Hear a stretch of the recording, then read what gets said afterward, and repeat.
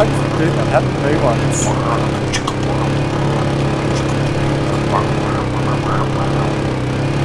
Oh yeah. Oh.